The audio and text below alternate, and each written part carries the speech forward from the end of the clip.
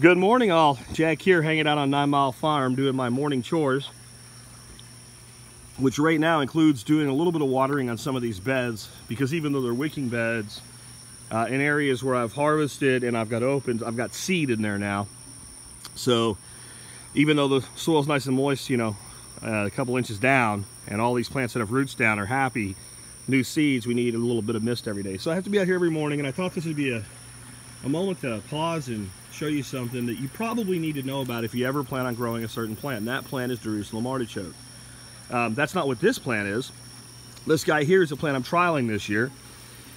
I got it in the ground rather late. I just want to see how it's going to do, and if it does anything, then I'll I'll be using it in the spring next year. It's called Seminole Pumpkin. I learned about it from Rob Greenfield when I had him on my podcast. And grows very fast. This plant you're looking at was planted about two weeks ago. And as you can see, it's already got huge leaves, good strong vines starting to come out, nice leader vine on it.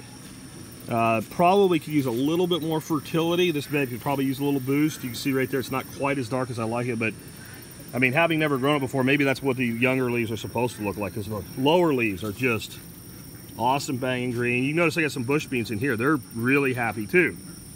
Okay, let's go over here. That's important to understand. When I built these beds, I put the exact same soil mix in them at the exact same time. They've been treated the exact same way. The difference is I got these Jerusalem artichokes growing in this bed. That's a Seminole pumpkin planted two weeks ago from the same seed packet as the one I just showed you. As you can see, it's not happy. Uh, there's some garlic chives in here that are doing kind of okay. But anything I planted here, I planted some beans in here earlier this year. I ended up pulling them out. They just looked like they were dying constantly. Um, over here, there's some cucumber that I planted. and it seemed to be doing okay, but you can already see the color. And I expect this to just not go anywhere. Here's some more Seminole pumpkins planted on the same day. Now I want you to contrast that. Look, it's it's not dying. It's just stunted in growth. It's just not growing. Look at that. Come back over here.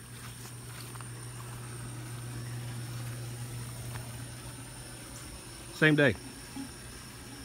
Two weeks growth, two weeks growth over there. So what does that mean? Does that mean that Jerusalem artichoke is a bad plant? No, it doesn't mean it's a bad plant. What it means is if you want to grow it, because it's a great plant, wherever you're going to grow it, you're going to grow it.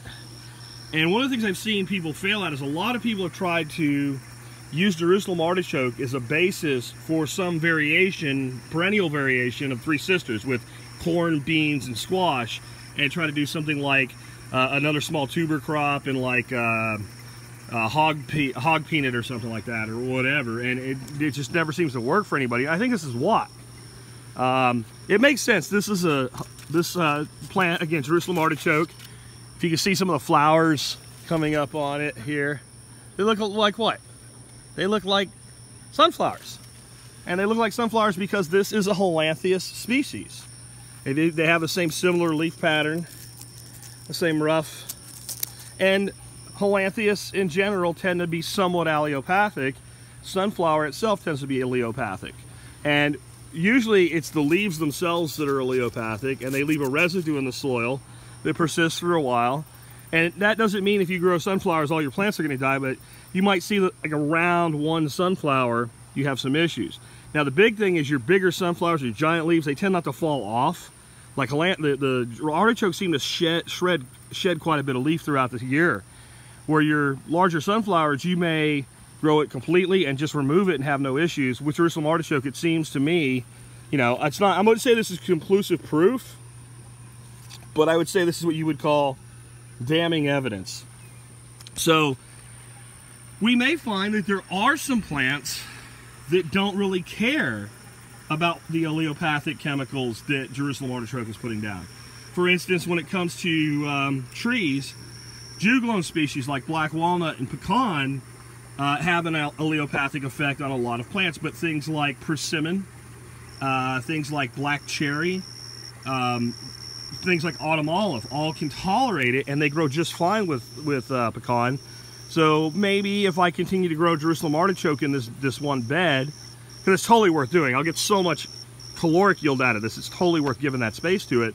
Uh, maybe in time I'll find something that will grow with them. But Again, this year I started out trying to grow beans in this system, and I also grew peas on one side of it and figured they would trellis up. All of them went lackluster, turned yellow, and basically they didn't die, but they were so unable to grow. Eventually I pulled them out. When I pulled them out, they had little bitty tiny root systems. So just know, if you're gonna grow this, think about where it goes and think about what goes around it.